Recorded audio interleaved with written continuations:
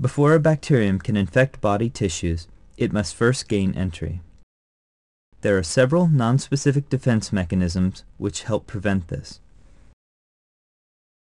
The skin forms a physical barrier impermeable to many bacteria. This is further protected by acidic secretions, which are toxic to some varieties.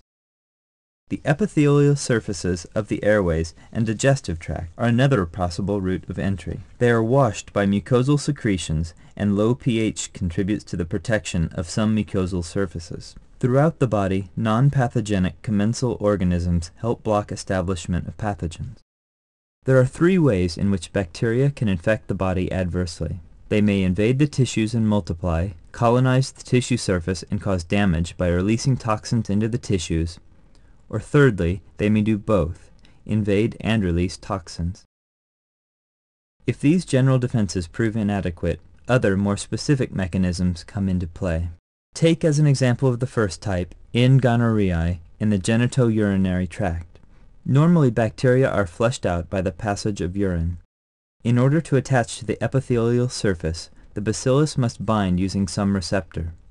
The body's cells attempt to preempt this by blocking those receptors. Immunoglobulin A is produced by B cells, which may be transported across the epithelium from the abluminal to the luminal surface. To do this, it first becomes bound to the poly-Ig receptor on the abluminal surface of the epithelial cell.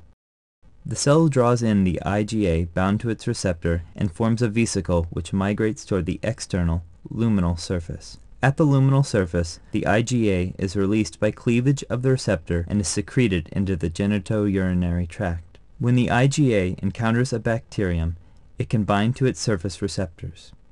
This prevents the bacterium from attaching to the epithelium, and it is washed away by the passing fluid. Another possible route of entry for bacteria is through broken skin. For example, C. tetani, the causative agent of tetanus. A bacterial colony could become established following a wound. The bacteria multiply and release toxins into the surrounding tissue. If the individual has been immunized against tetanus, Tetanus-specific toxin immunoglobulin exists in serum.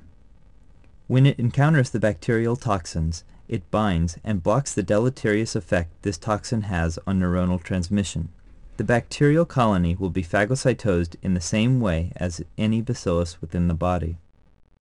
Should the protective effects of IgA be inadequate, and bacteria succeed in attaching to the tissue wall, such as the epithelium in the gut, they will divide on the luminal surface and invade the underlying tissue.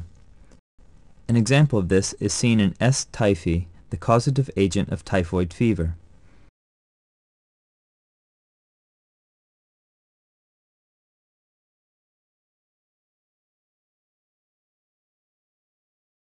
The bacteria can invade macrophages and survive within them.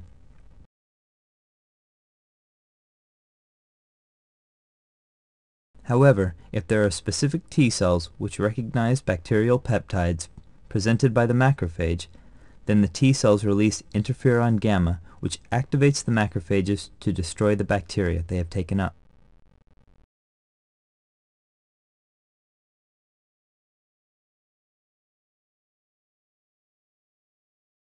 Antibodies and complement in the serum also provide their own immune response to these bacteria by damaging their membranes and limiting their invasiveness.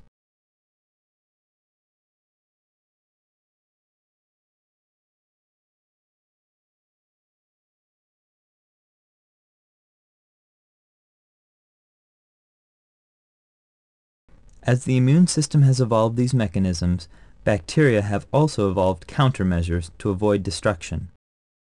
Some attempt to evade the macrophages by intercepting the chemotactic messengers sent out by the complement system. Without the presence of C3A and C5A, the macrophages cannot determine the site of infection.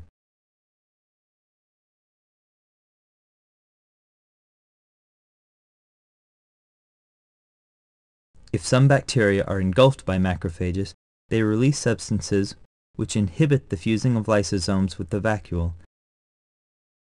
thus preventing contact with the macrophage's arsenal of chemicals.